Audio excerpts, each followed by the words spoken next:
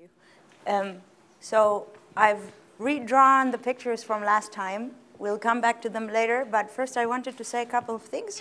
So um, I must apologize for, uh, for an error in the second lecture. In the second lecture, I put down, which was called a number 3i, that the scalar curvature of the horizon would be constant as a consequence of the Gauss-Codazzi equations. This was part of exercise 7. And this, I got carried away. This is true for the photon surfaces I'm going to talk about today, but it's not true for the black hole horizon that this follows from Gauss-Codazzi. So uh, it, it's of course true after we proved any of these theorems that we proved in the last two classes, but it's not true a priori. Um, not so easy to show a priori. So I hope nobody wasted enormous amounts of time on this exercise.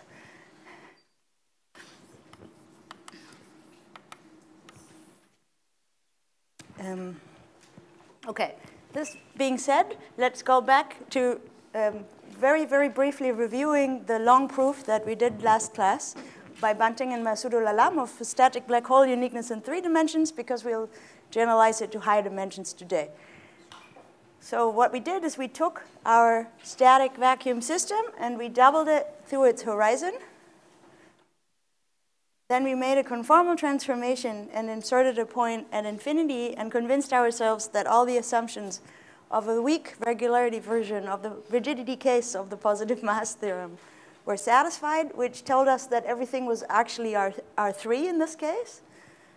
And then I, I, I very briefly mentioned to you a method using the Cotton-York tensor developed by Robinson and his collaborators that allowed us to recover Schwarzschild. And somebody asked me later, how did we make the potentially several black holes disappear and just remain one, one black hole to remain? And this was actually hidden in the recovery procedure with the Cotton-York tensor implicitly, okay? Um, somebody else asked me after the lecture, well, but this argument with the Cotton-York tensor even requires third derivatives of the metric. And our metric regularity along these uh, the doubling horizons and also at this point was only such that we had C11. And so why does the Eisenhart theorem and all these things even apply in the recovery with the Cotton-York tensor? The answer is very simple. We're only interested in showing that this original manifold was Schwarzschild. So we just forget everything we did. Now we know this upper part is conformally flat, and we can perform the whole argument in this original manifold. And this will be a, a uh, re a recurring theme in the different arguments we'll give today in higher dimensions, where the only difference from the procedure we studied will be in this recovery part anyway. So every time that we arrived at this point where we know we're globally conformally flat, once maybe we'll do topological arguments on this level, but then whenever we do any smooth arguments, we'll do them in the original manifold, so smoothness is not an issue. Um, then somebody said that in the Bartnik paper there was a condition on the Ricci tensor. No, there's not. I, I read up. so the, the Bartnik positive mass theorem is, is a higher dimensional version of Witten's spin, um, spin proof um, positive mass theorem and it is under the same conditions as the original theorem. So no extra conditions there, so we're good to go there. And it's actually, I read it up, it's theorem 6.3 if you want to check it up. And, and one last thing I wanted to mention because it came up in a question yesterday after the lecture is, in fact, yes, the Bunting-Masood-ul-Alam proof is strictly speaking stronger than the Israel proof. So the Bunting-Masood-ul-Alam theorem implies the Israel theorem. And I'll write that down that theorem 2 implies theorem 1. Okay? So if we know that we start, potentially start with multiple black holes and we show there is only one and it's Schwarzschild, that implies we start with one black hole and we show it's Schwarzschild. And there, the technical condition in this theorem that the gradient of the lapse doesn't vanish, it doesn't occur here. So even from that perspective, it's stronger. Okay. So today we're going to talk about generalizations.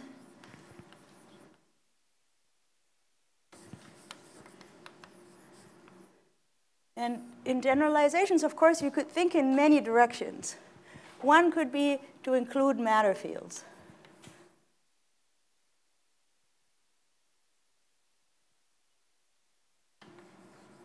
Okay. And this has been done for electrovacuum, and for many other fields. I'm not going to say much about them because I don't know much about them. Um, I, I, of course, I know the electrovacuum proof, and in fact, there has been an electrovacuum proof in the style of Israel by Israel and collaborators, and also by Masood-ul-Alam with the Bunting Masoudul Alam approach, which also works in the electrostatic realm.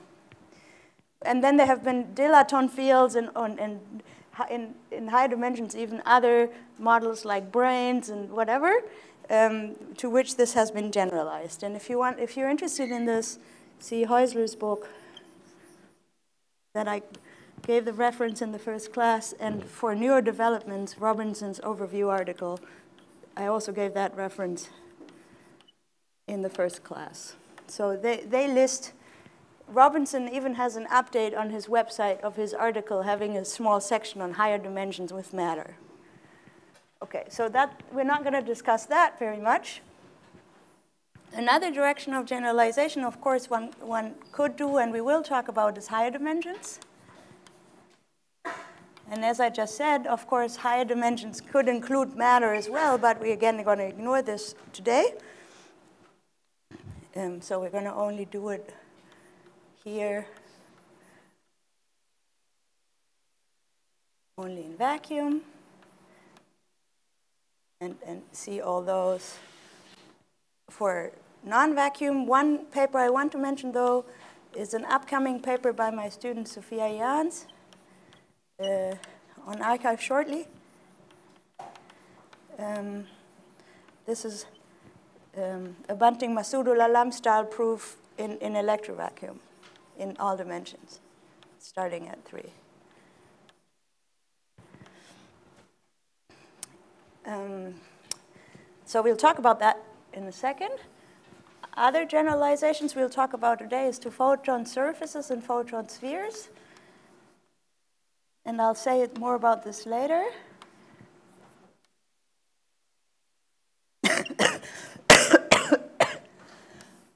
um, and of course, and this has been lingering at the background of my lecture a lot, you could talk about non-static situations. And most, most interesting at the moment, I guess, is stationary spacetimes. And there's lots of open questions there. There's, it's known in, in, in real analytic situations, and, but the full case is open. Okay, but I'm, I'm not an expert on that, so I'm not going to say anything on that. Um, stationary. Um, except that there is a living review article on this topic um, by Piotr Chruściel and other authors. So if you don't know, the Living Reviews is, a, is an online journal which um, you can access through the library of your, of your institution, which is a review journal that posts updates on a regular basis, so they're always very up to date. So they change authors also along time, so I'm not putting authors. But there's a it's very good and very easily, uh, well-readable um, living review article on stationary black hole uniqueness there. Okay.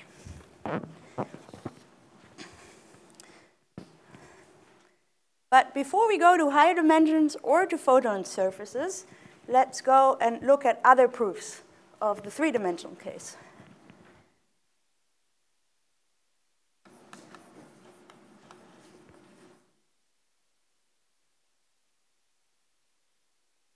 And of course, if you're a physicist, you may wonder why it's even interesting to study different types of proofs of the same theorem if you already know the result by Bunting and Masood-ul-Alam in uh, as much regular, uh, as much generality as we like. And the answer is, if we want to go and generalize to different scenarios, of course, the more proofs we have, the better it is, because maybe other proofs will generalize better. Okay. Um, so and also, we want to do a little bit of justice to the people who, who did the work. So there's one proof by Robinson um, from 1975 And the article, again, is, is in, in the book and in, in Robinson's review article. And it generalizes the Müller zum Hagen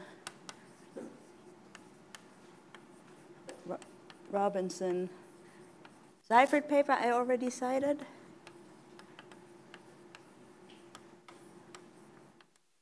was 1972.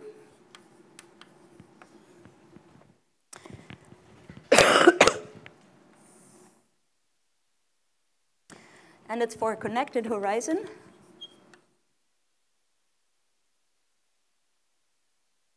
So a single horizon in our language. And it is not, and this is important, assuming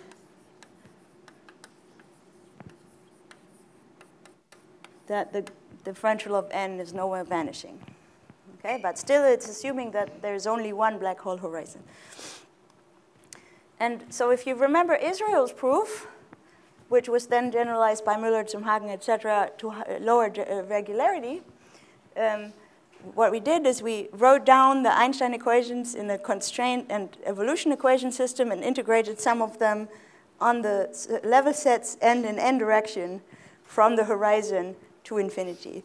And the idea in the Robinson paper is exactly the same, but instead of integrating inequalities as we did in the Israel case for densities, we will integrate a magical identity that I won't write down because it's very long. So he finds a magical identity.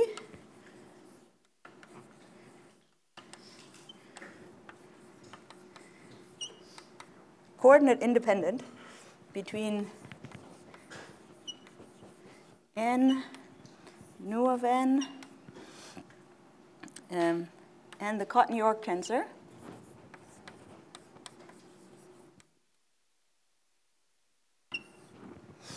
Which is completely geometric and contains the Cotton-York tensor as norm c squared. And of course, this is non-negative, so this gives us a magical inequality.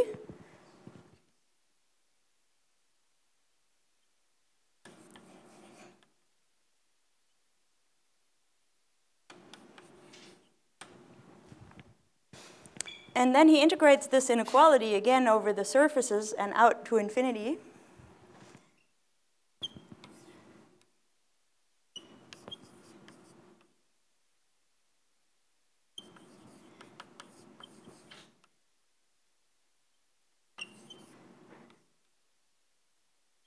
And again, like in the Israel proof, he gets inequalities between m and the area of the horizon and the normal derivative of n at the horizon. And these are algebraic. Algebraic inequalities between the mass, the lapse function, the normal derivative of the lapse function at the horizon, and the area of the horizon. And again, these together with the information that we have that um, m is 1 on 4 pi, the normal derivative at the horizon times the area. These are sharp, so they are saturated. So all the inequalities were identities. In particular, this, the cotton tensor had to be zero everywhere, and we're back in the situation where Masood-ul-Alam took us, and bunting. So all saturated.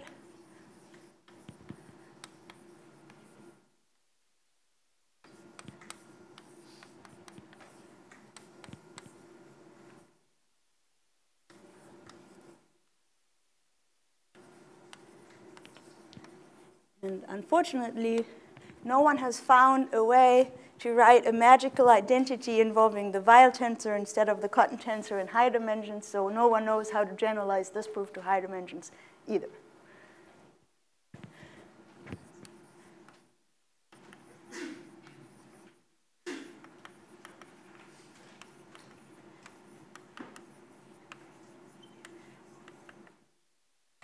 But it's conceivable that the magical identity can be used for other things as well. So I, st I still think it's worthwhile studying this proof. okay. And then there's very recent work by Agostiniani and Mazzieri. Of course, this is Lorenzo who is here from 2017. And because this is after the review, I have to give the reference on the geometry.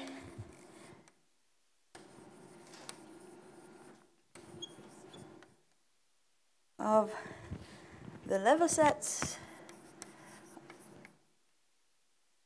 of bounded static potentials.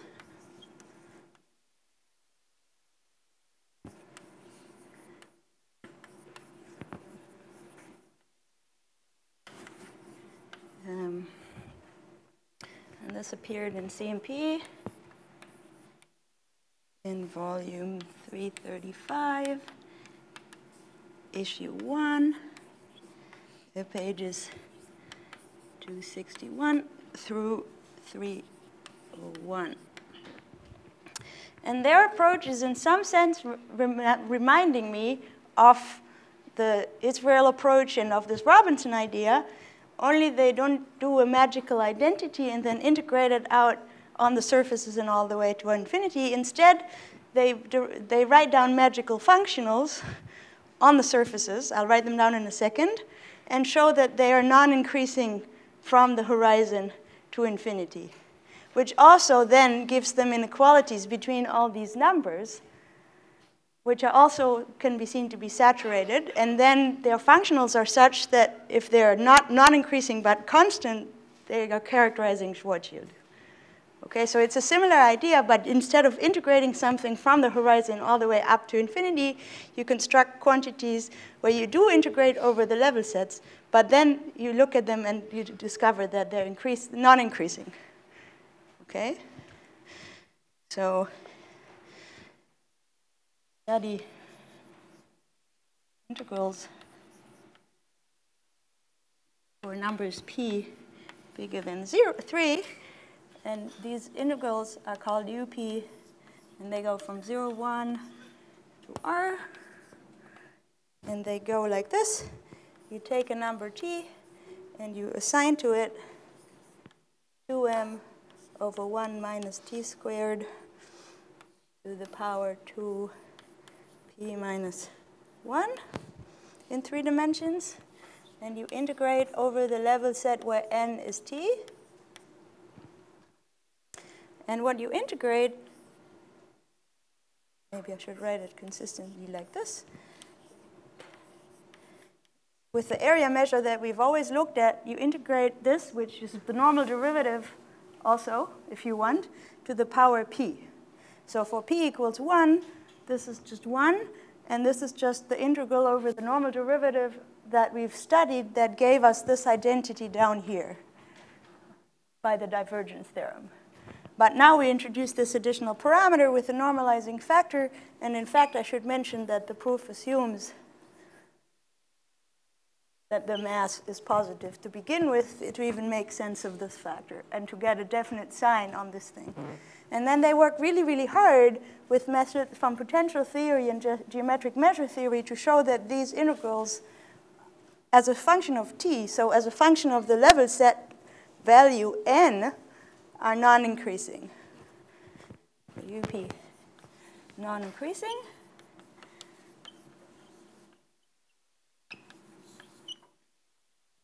And also, um, UP equals constant.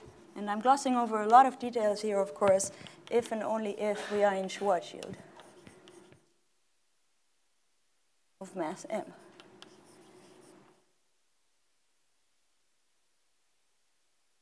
Okay? So now, again, instead of having something that we integrate all the way out from 0 to, in, from, the, from, the, from 0, which is the horizon, to 1, which represents infinity, we look at functionals that are now non-increasing. So most likely decreasing unless we are in Schwarzschild. And this, of course, then gives us, again, inequalities between the mass, the normal derivative of the lapse at the horizon, and the area of the horizon and these are saturated as again m is 1 on 4 pi nu of n n equals 0 times this area. And this implies that UP is actually constant. And then this implies that we Schwarzschild. So we got rid of the cotton tensor.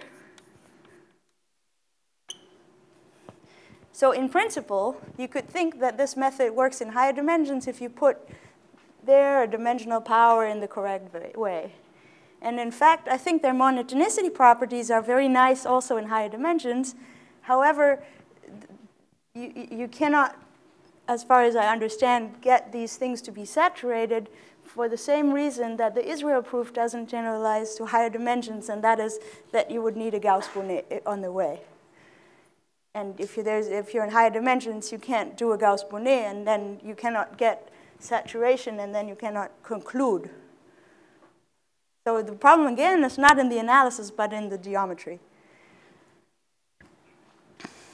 But I, I think it's a very, very nice proof, and it's also a nice new aspect to this theme of looking at the level sets, integrating something over the level sets, and then getting inequalities between the quantities on the horizon and the quantities at infinity, now not by integration, but instead by monotonicity properties of some functionals.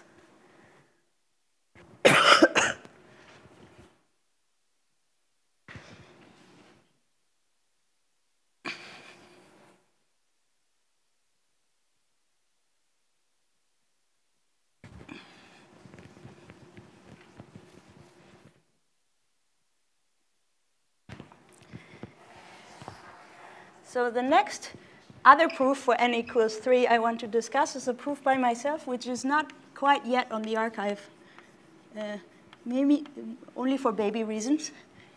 Um, she doesn't like me to sit on the computer. Okay, so it's in progress, but um, that's not a problem with the proof, but just with the typing. Um, and it's a Bunting-Masood-Alam argument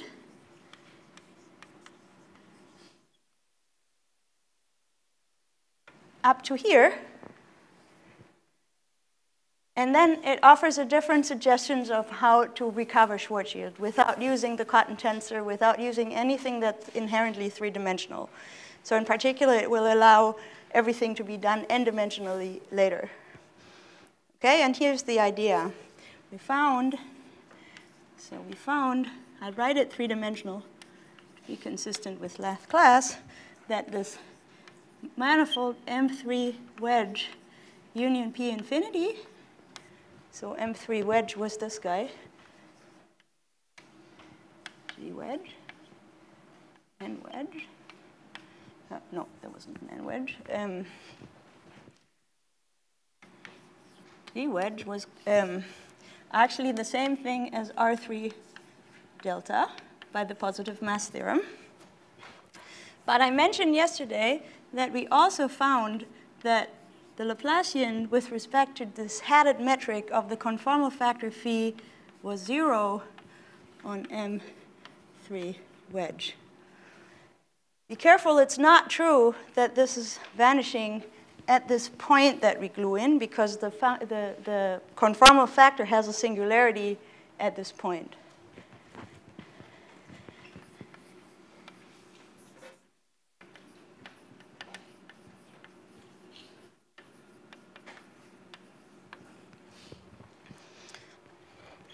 And recall also that the definition of phi was nothing else but 2 over 1 plus n hat, where n hat was the um, lapse function that we defined here just to be the lapse function and here to be minus the lapse function. And now we argue as follows. One, we think about the topology, meaning we prove that I is 1. This goes like this. We know this guy is R3 globally, globally isometric to R3. So if there were several connected components of the horizon to begin with, then this would have non-trivial topology, for example, second fundamental group or something, whatever you like. And this has trivial topology, but they're isometric globally, no.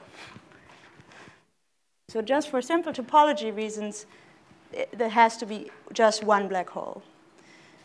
Then the second aspect is the geometry of the horizon.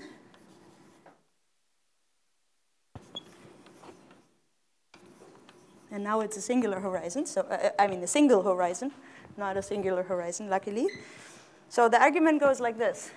We showed in the beginning, or we, I claimed that we could show in the beginning that this horizon is umbilic. The trace free part of the second fundamental form vanishes.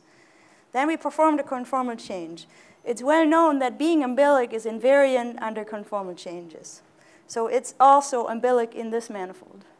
But this manifold is R3. So now we know the horizon is umbilic in R3. So uh, sigma 2 umbilic in M3. Sigma 2 is umbilic in R3. But it's a very well-known fact which can be verified by a computation. And if you've never seen it, I suggest you do that, that any conformal, any umbilic surface which is closed in R3 is nothing else but a round sphere. There are no other umbilic surfaces. The only closed umbilic surfaces in R3 are spheres and spheres of the form radius S0 and center C. So C is in R3 and S0 is a radius. I'm calling it S again, recall, because we call the coordinates in R3 S, the radial coordinate S and not R, to remember that we are in the isotropic coordinates in Schwarzschild. Okay, so again, we were umbilic to begin with, so we umbilic in R3, and the umbilic surfaces in R3 are classified, and they're all round spheres. So that means that topologically now we know we're a round sphere horizon. And we know more. We know in R3, the image of the surface, and I'll suggestively draw it like this, um, is a round sphere intrinsically. If it's a round sphere intrinsically, we can verify that it has to be been a round sphere in here because the conformal factor, and I'll write this down in a second, the conformal factor on the horizon, if you look at the formula, n hat is zero on the horizon, so the conformal factor on the horizon is a constant. So the metric on the horizon induced in the original manifold and induced in R3 are related by a power of, by 2 by a power of 4, by, so by a constant. So it's a round sphere.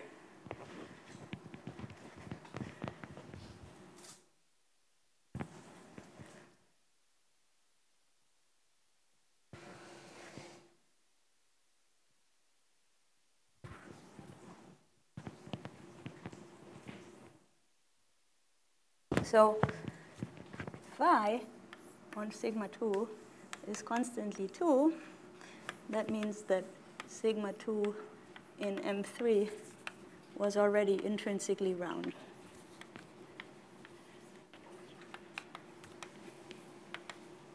We knew it was extrinsically totally geodesic, so round, but also now we know it's intrinsically round because the conformal factor is a constant. and three, it's in fact the whole thing is Schwarzschild by the following argument, which is much simpler than the argument using the Bach the cotton tensor um, or the explicit computation that Israel gave. And the argument goes like this. We know that phi is a harmonic function outside the ball of radius S0 around the center C in R3 because it was harmonic with respect to the new metric, but the new metric turned out to be Euclidean space. And if we stay away from this one point, which is inside this ball, we get this. We now just computed that phi on the boundary of this ball is 2, which is a constant. We also know from the asymptotics that phi goes to 1 as s goes to infinity, s being the radial coordinate in R3. Well, I can solve that, right?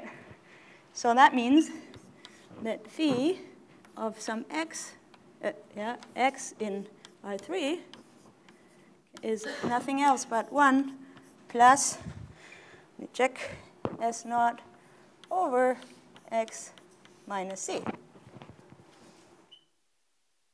Okay, so here's the picture. For any point x out here, I compute, and I'll now write this as c, I compute the distance from x to c, plug it down here, S naught is the radius of that ball, and 1 is the value at infinity. So there's the only thing I don't know is the center and the radius. But now, now I know more than this asymptotics. I know that n goes like 1 minus m over 2s, uh, m over s. So I can do a uh, compare asymptotics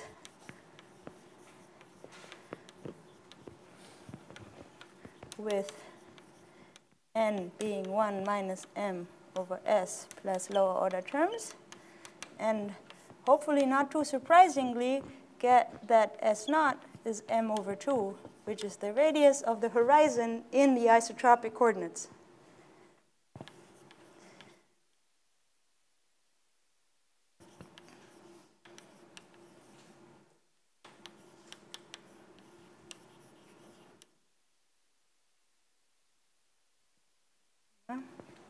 So this is indeed 1 plus m over 2 x minus c.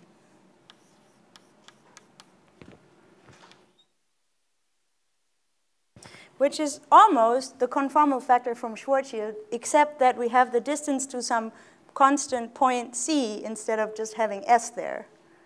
But that's a matter of translating the coordinates on R3. So translating coordinates on R3,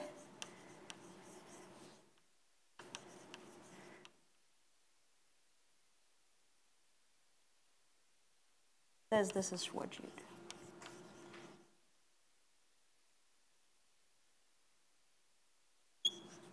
And we're done. So that's a method of recovery that doesn't ever switch into the Schwarzschild coordinate picture like the others do, which is why it seems to so much simpler. And instead of using anything about the geometry of the original manifold, we now stay entirely in the R3 and exploit this equation that we just computed as a side computation for computing that the scalar curvature transforms to something non-negative. And then we forgot about it in the other proof. And if we don't forget about it, it gives us the answer immediately because it really is already the conformal factor for Schwarzschild. And this clearly generalizes to higher dimensions and explains why there's an n minus 2 here in higher dimensions because that's the seed solution of the Laplace equation in that dimension. It also gives you a, a very nice insight why there's no Schwarzschild for n equals 2, because then you would have a logarithm um, fundamental solution which would grow, and you could never get something asymptotically flat.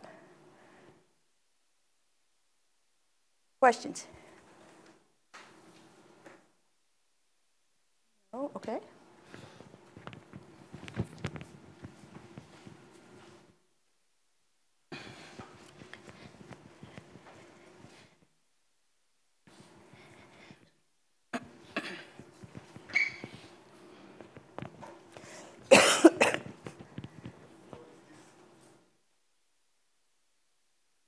The C is the center of mass. That's a good question. So if you think about your ordinary Schwarzschild solution and you just translate your coordinate, that's, then that's what's going to happen to you in, in the isotropic coordinate picture.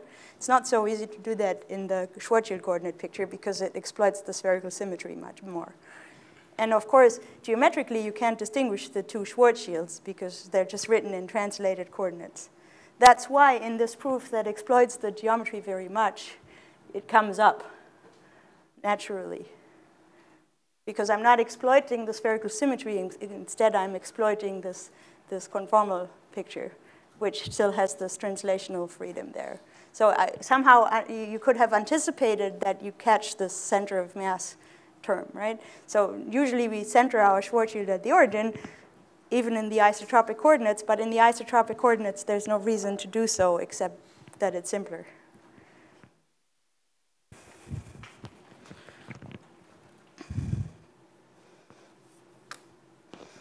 Okay, so, so this shows how this works. So let's move to high dimensions explicitly.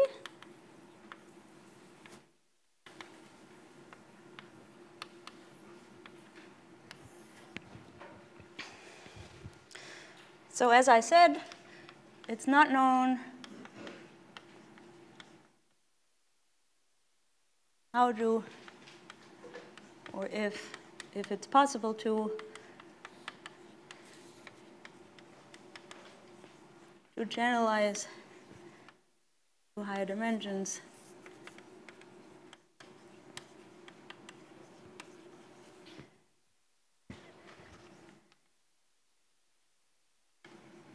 any of the proofs.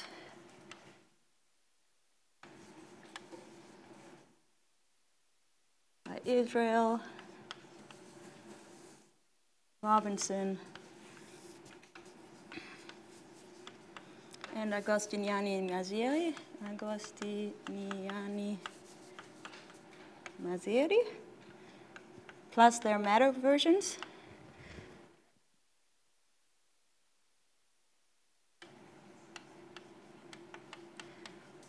because they use Gauss-Bonnet.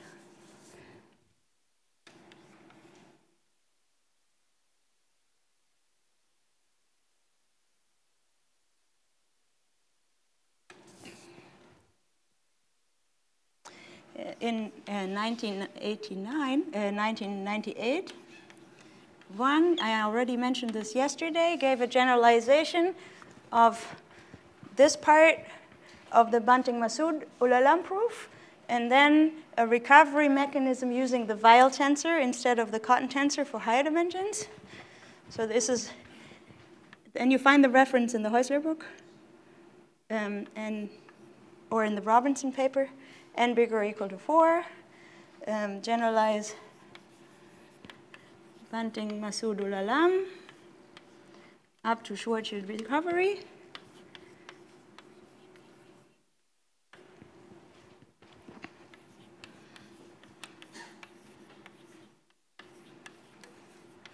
and then produces an involved argument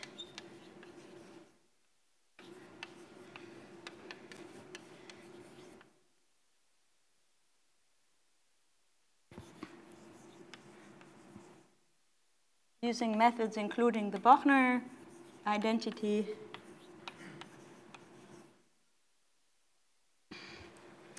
Bochner formulas, some Morse theory, and uh, the Weyl tensor to reconstruct, to recover Schwarzschild.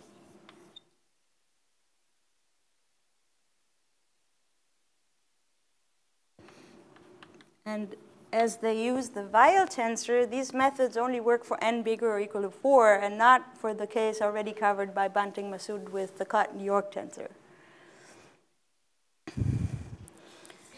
Then in 2002,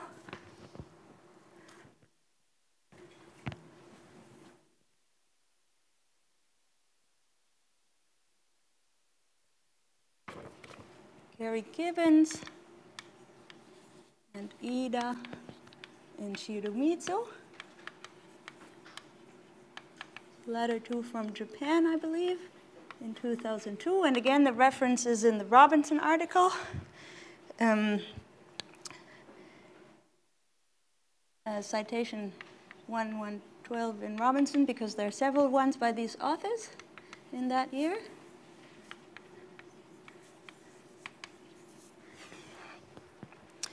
Um, they do the same as Hwang. So meaning they generalize the Bunting-Masood procedure all the way up to the Schwarzschild recovery to higher dimensions. And then they try, but recover Schwarzschild maybe a little bit ahistorically, under the condition that dn is nowhere vanishing by a rather explicit method,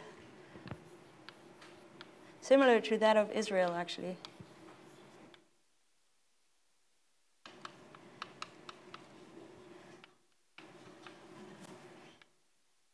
And in fact, they argue that in principle, at this point of the proof, we should actually be able to show that there is no zero in the gradient of the lapse, which is one of the things that Hwang actually does. He shows that using the, the Bochner formulas and the Morse theory that actually this doesn't happen after you already know you're globally isometric to, to globally conformally uh, globally conformally flat. So they're right, but they don't show it. Both these proofs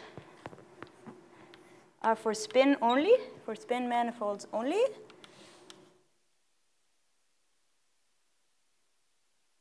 Because at the time, the only available positive mass theorem in higher dimensions was Witten's and uh, Witten's proof with spin manifolds, and then the Bartnik's regularization thereof, or low regularity version thereof, using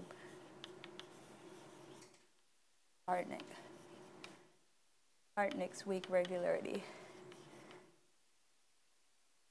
EMT.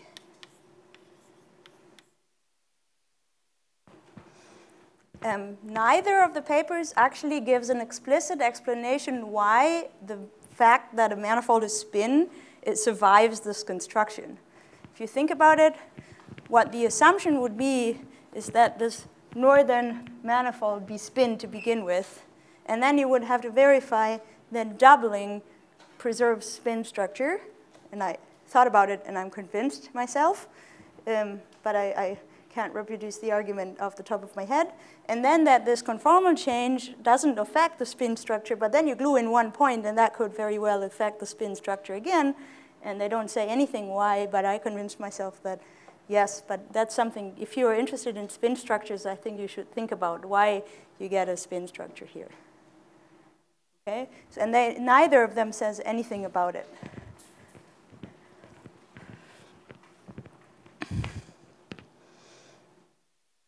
Okay. So then, what do I erase? Erase this. The argument that I'm currently erasing goes to higher dimensions easily because all the arguments were completely geometric or about fundamental solutions of the Laplace equation on R3 outside a ball. All those go easily to higher dimensions. There was no Gauss-Bonnet. And in fact, now we know that there is a positive mass theorem in higher dimensions, also without the spin condition by Schoen and Yau, and I'll give you the references. So uh, tends to higher dimensions.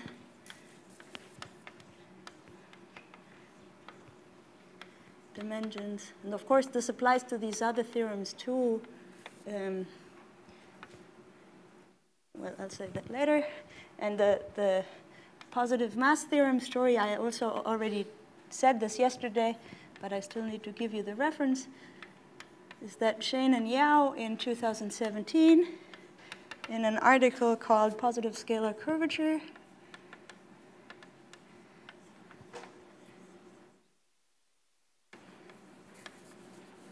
and minimal hypersurface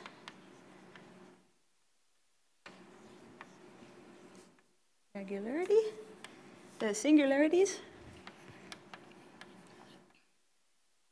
And I couldn't find it published anywhere yet, but on the arXiv, it's 1704, um, 05490 version 1. Together with this paper I mentioned yesterday by McFeron and uh, uh, Heady from 2012, which is called On the Positive Mass Theorem for manifolds with corners.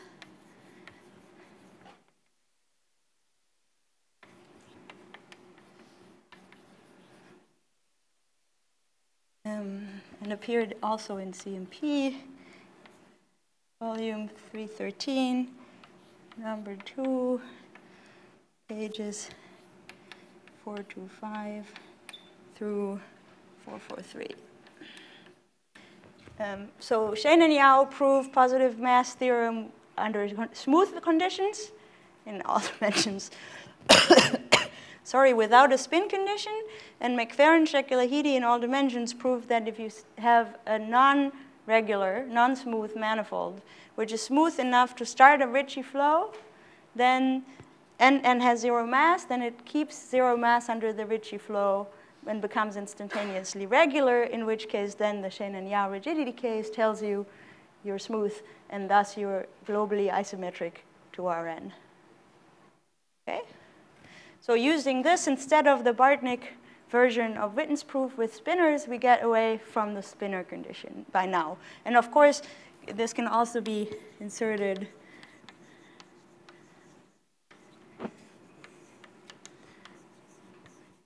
into Hwang's argument and also into Gibbons Ida Shiromizu.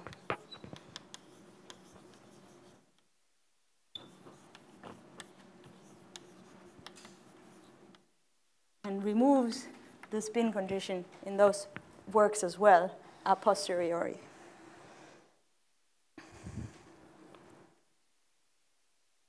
Okay. So that means we now have proofs and several versions of proofs for a higher dimensional static vacuum black hole uniqueness.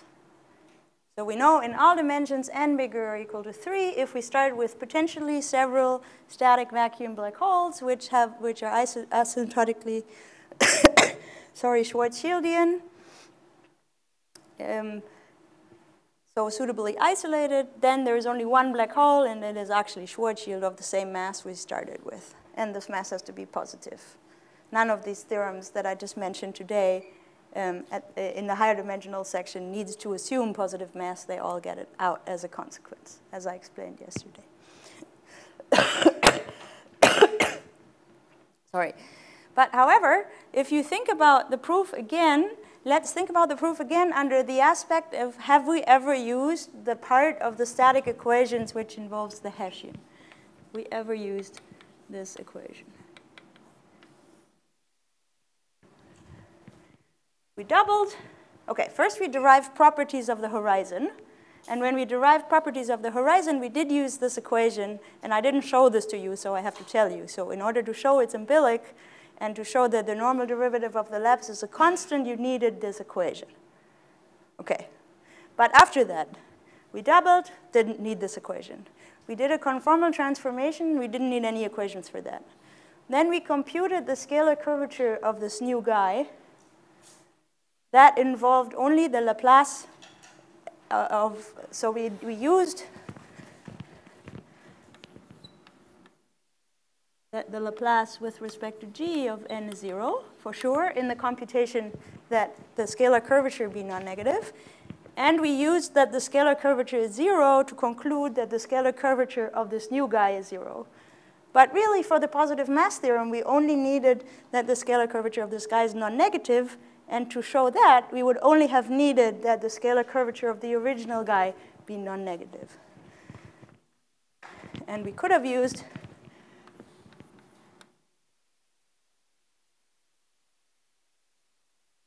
only that the scalar curvature of the original metric is non-negative. Then we did a positive mass theorem that didn't, of course, need the static vacuum equation for the Hessian at all, because it's just the positive mass theorem.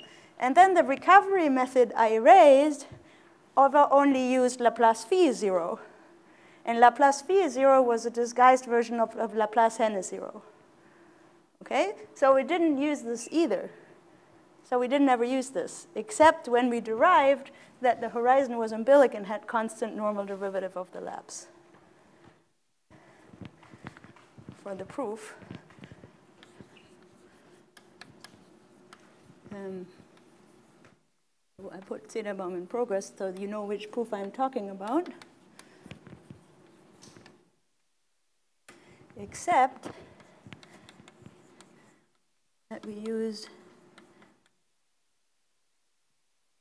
Hessian n equals n Ricci, which then implies scalar curvature 0 to derive that the trace-free part of the second fundamental form vanishes and that nu of n is constant, which we actually never used in this proof anyway. we only used that it's non-zero. Okay, so that's the only point where we, do, where we use this. So we actually proved a much more general theorem. We proved a theorem saying that if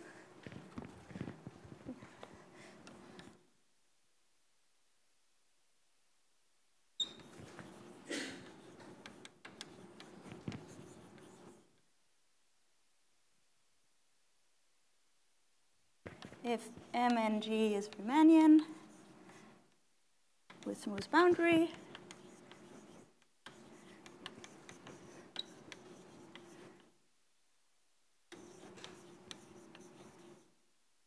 and the boundary has vanishing mean curvature and vanishing trace-free part of the second fundamental form. So the boundary is totally geodesic. And if n on M3 to R extends smoothly to the boundary.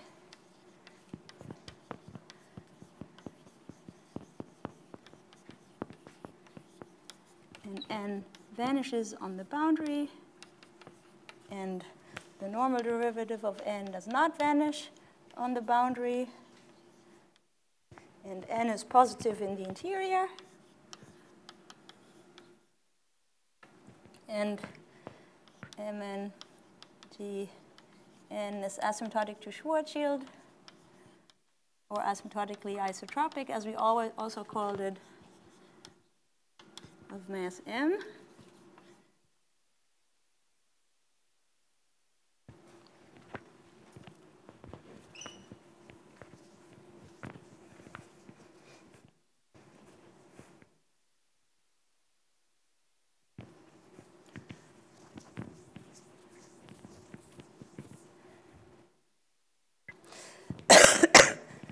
Um, and for those who are interested in the details, the error term is Sn minus, minus 1. Um, and such that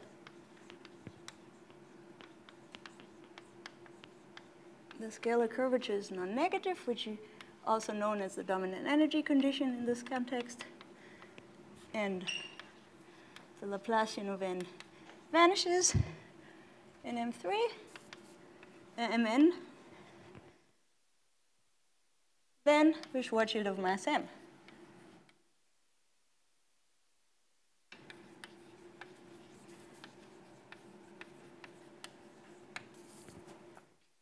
Now this could be rather surprising because in the beginning we started with all this rationale, yes?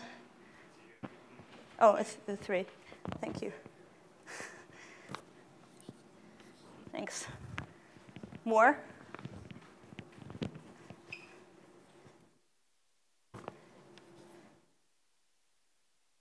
More? Thanks. so in, we, in the beginning, we started with all this rationale that we have several black holes and they gravitationally attract each other and therefore they should accelerate and shouldn't sustain in static equilibrium. And now we got rid of the static in the thing, right? Instead, we said, let's have things that are black holes and have more properties like black holes in static spacetimes. But let's forget about the static other than that. And let's just think of a function n that takes the role of the lapse if it was static, but doesn't have to be static, and, and the whole result sustains. So really, there wasn't so much staticity in the proof, and at least if you modify the last bit of the proof in the way I showed you, um, there isn't much staticity except that the horizon components, a priori they're potentially multiple components, have the properties that they would have in a static vacuum environment. Right? So from a PDE perspective, this says instead of looking at an over, highly overdetermined system of elliptic PDEs with highly overdetermined boundary conditions, you don't need the highly overdetermined PDE anymore. Actually, it's sufficient to look at a harmonic equation with so many boundary conditions. Why are there so many boundary conditions? On the inner boundary, we put the Dirichlet condition of vanishing lapse plus non-vanishing normal derivative, which is almost a, a Neumann condition. But at infinity, we impose that the function goes to 1, that's a, Neumann, a Dirichlet condition, with two derivatives. So the first derivative is also prescribed, which is another Neumann condition. And then the second derivative is also prescribed, which is even stronger. Okay, so we have hugely overdetermined boundary conditions for this lapse function. So it's not a good idea to think if I have a metric that on, on Mn with, which has non-negative scalar curvature and a totally geodesic boundary, then I'll just find some n like this. And then everything is Schwarzschild. That would be too much to hope for because, of course, there are manifolds with uh, boundary that is totally geodesic that are not Schwarzschild. So you, if, but if you can solve this highly overdetermined system of boundary conditions for the lapse, then you're Schwarzschild, which, which just means that it almost never happens. Okay? So this, this could be slightly surprising, hopefully. Um, pardon? Oh, oh the, so the, the error, the lower order term, in the definition of asymptotically isotropic, I, I never said how fast the lower order term needs to decay. And this is saying in dimension n, the lower order term needs to be at least of the order 1 over s to the n minus 1. And then the first derivative, like 1 over s to the n, and the second derivative, s to the n plus 1. It's the same condition appearing in the Bunting-Masood, I'm not claiming that this is the lowest assumption that you can make. It's just an assumption under which this works, and under which the glue-in of the p infinity point is, is straightforward. You could work harder to glue it in, I think, but I, I didn't want to go in that direction. So let me spend the last 15 minutes on, on explaining a little bit about this photon sphere business. Um, here.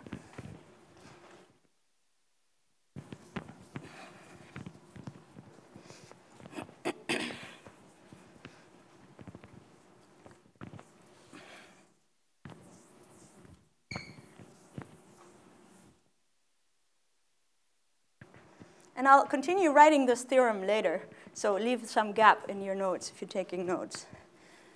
Um,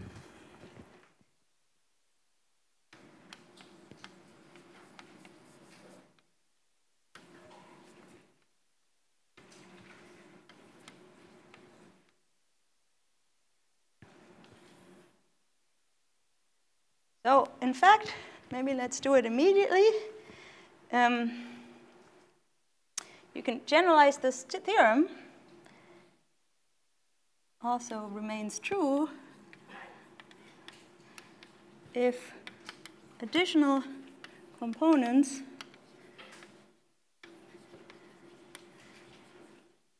of the boundary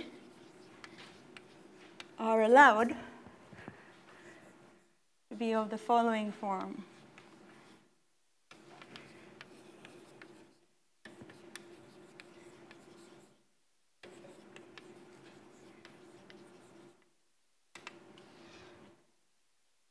n is constant. So the components, like yesterday, we will call them sigma 2i. The lapse is constant. Um,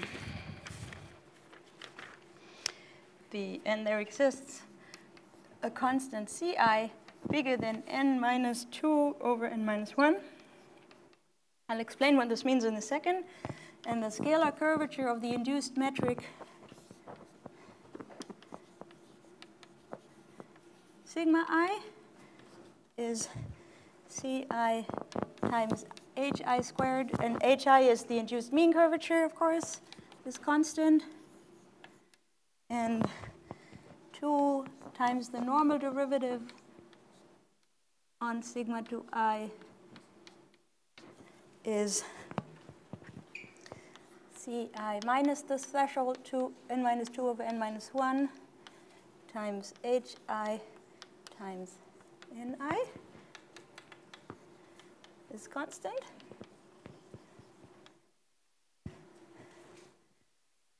So let me say this in words. Now we are allowed to start with the northern manifold. So, so a, manifold, a Riemannian manifold with a lapse function that's harmonic and non-negative scalar curvature with some components that have mean curvature 0, lapse function 0, and are umbilic and some components that have this other quantity. I forgot to write that they're also umbilic. So the lapse function is, is a positive constant.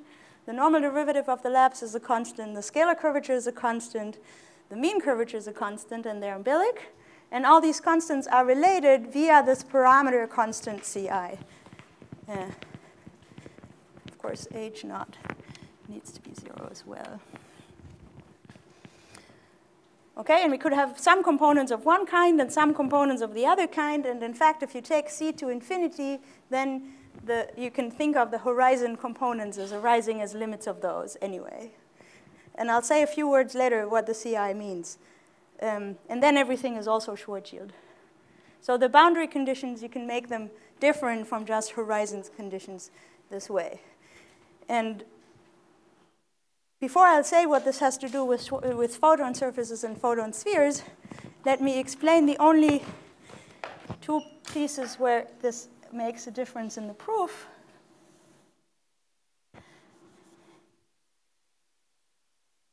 We cannot double, because if we have a, okay, let's have this a horizon component, so h equals 0 and so on and so forth, but the other components we cannot double through them because they have positive mean curvature. And so if we doubled, they would get a crack. But we need C11. So instead, what we do, and we first did this with Greg Galloway in a special case of this, and then I did it on my own, we glue something in. And we glue something in which has a horizon at its end, and then we double, then double. and the thing we glue in is in, in, in the work that I did with Greg Galloway, and I'll give the references later to whoever is interested and write them in the lecture notes, and they're all on my website. Um, in the case with Greg Galloway, we glue in a piece of a Schwarzschild neck, so therefore the static equations hold on this glue-in piece also. And then all the rest just continues the same way.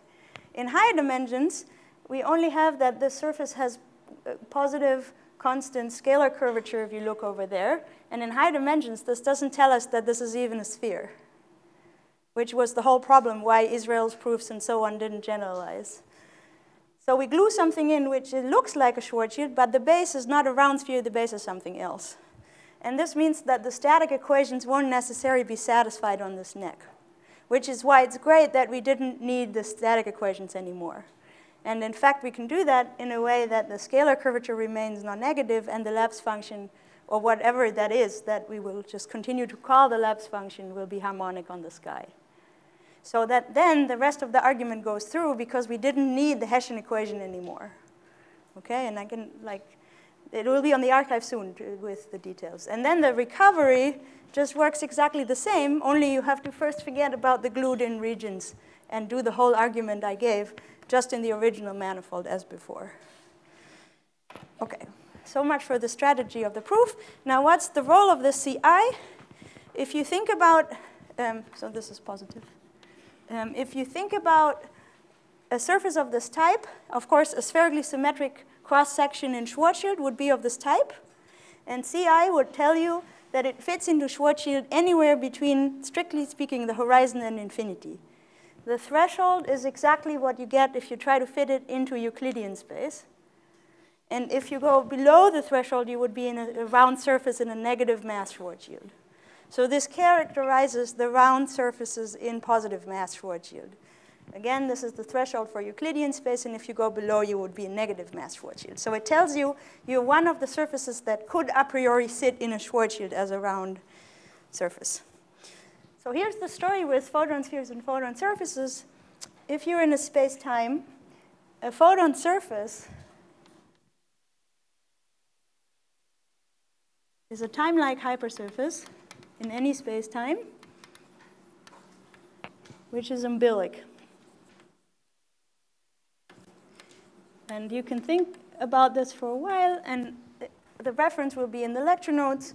And this umbilic turns out to mean nothing else than if you take a photon, so a null geodesic, start it tangentially to the surface somewhere, then it will remain in the surface.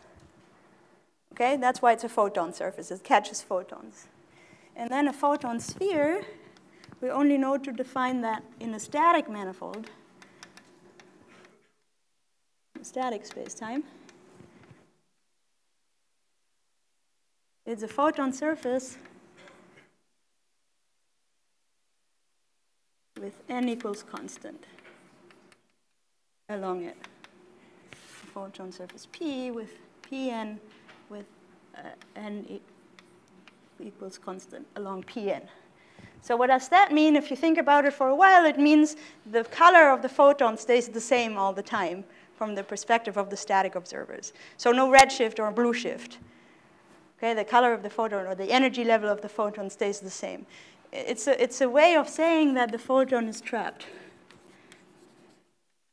And an example of such a photon surface is the cylinder. Excuse the stupid language. This is a cylinder in Schwarzschild, right? With spherical base r equals 3m, and then up in time direction a cylinder. And this is such a photon surface, and in particular also such a photon sphere, because n only depends on r, so n will be constant. Meaning that if you stand, if you were able to have a rocket that allows you to stand on this cylinder, you could see the back of your head. Okay, and it wouldn't be color shifted. Okay, so that's a photon sphere by definition, and, and excuse the language, but it could be in different spacetimes also of a different topology than just a cylinder over a sphere. So now Greg Galloway and I showed that in Schwarzschild in all dimensions, you have a funny diagram. So this is Schwarzschild n bigger or equal to 3. And this is r equals 3m, the photon sphere that's very well known. And we found a whole family of photon surfaces in Schwarzschild, which came to a surprise to us at least. And I'll just draw a diagram. So there are some which look almost like hyperboloids. There are one-sheeted hyperboloids in Minkowski space are also photon spheres. Um, then there are ones that come in from infinity and asymptote to this 3m. Then there are ones that come in from infinity and asymptote to the black hole horizon, which in our language is 2m. Then there are some that come from the horizon, go to the photon sphere, and return to the horizon. Then there's no more color, but there's still one family coming in from the photon sphere and going to the horizon. All of these, if you take them and rotate, you get surfaces in Schwarzschild spacetime which are time-like and umbilic, so they're photon surfaces, and they're spherically symmetric. so these are all photon surfaces, and just the one with constant radius is a photon sphere. But they all have spherical cross-section. And you can, if you look at the intersection with t equals 0, each of them is a sphere of some radius, and each of these spheres can, we can show a priori if they are in a static vacuum space-time satisfy all these conditions. So as a consequence, a theorem by Greg Galloway and myself, which applies this abstract theorem, is saying that if you have a static vacuum spacetime which is asymptotically Schwarzschildian, and it has an inner boundary which arises as a photon surface, such that at each cross section, the level, it's a level set of the lapse. I won't have time to write this down. It's Schwarzschild. In particular, if you start with the photon sphere, that's a result we had for a while in three dimensions you have to be Schwarzschild. So not only are um, black holes in static vacuum spacetimes unique and have to be Schwarzschild, also photon spheres, and now with the new theorem that allows for um, non-Hessian solutions, we can show that also in higher dimensions, this holds true for photon surfaces. In three dimensions, actually, you don't even need to drop the, the static equations. Okay? So, so now instead of just knowing static black hole uniqueness, we know something which is, which is in some sense nicer and, and not clear whether this is a stronger or weaker statement. We know this photon sphere and photon surface uniqueness. Why is it not clear that it's a weaker or stronger statement?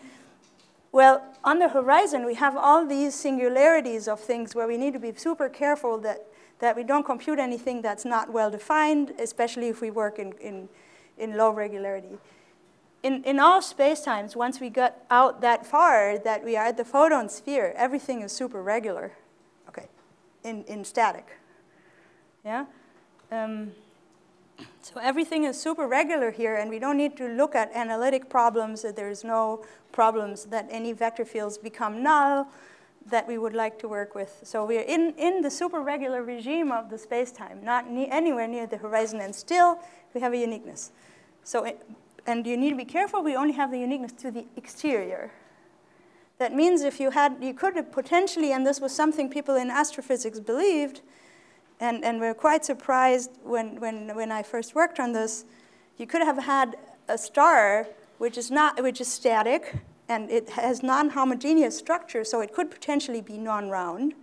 And it was expected in astrophysics that if the star is suitably compact, it would form a photon sphere around it of trapped light. This is saying, well, if it does, then the photon sphere and everything exterior to it is spherically symmetric anyway. But the static equations are real analytic, so it should be then spherically symmetric all the way down to the star. So this is saying if you have a non-spherically symmetric star, which is static, it won't form a photon sphere, which is a surface. It can still have individual trapped light rays, but they won't form a nice smooth surface. They will do something more complicated, maybe something even as complicated as in Kerr, we don't know. But the naive picture that, that it'll form a surface is, is, is too naive and has to be given up. And the same thing is true for these photon surfaces, which I don't know if they have any physical significance beyond being pretty. Thank you.